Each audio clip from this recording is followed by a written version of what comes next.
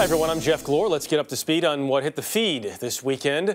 Uh, this five year old could be the weather person of the future. Hi, my name is Aiden Kate, and today we'll be introducing snow. Aiden Kate Isaacs of Lewisville, Texas, used a comb as a mic and reported on the first snowstorm of the year. Her father recorded it and sent the video to CNN's iReport.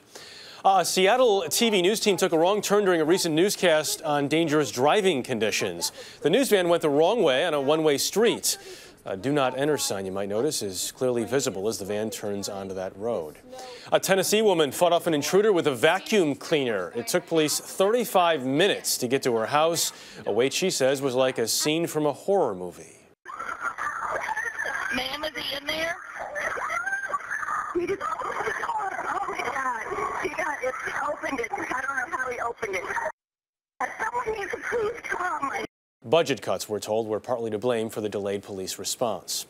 Cleopatra is now in Cincinnati. A five ton, 16 foot statue is part of an exhibit called Cleopatra, the search for the last queen of Egypt. French archaeologists discovered the artifacts near Alexandria. Cincinnati is just the second stop in the world for this massive exhibit.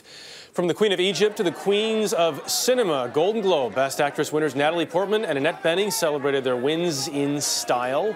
The two actresses are expected to face off for the Best Actress Oscar. That's what's in the feed this Monday morning. I'm Jeff Glor. Thanks for watching CBSNews.com. I'll see you tomorrow morning on The Early Show.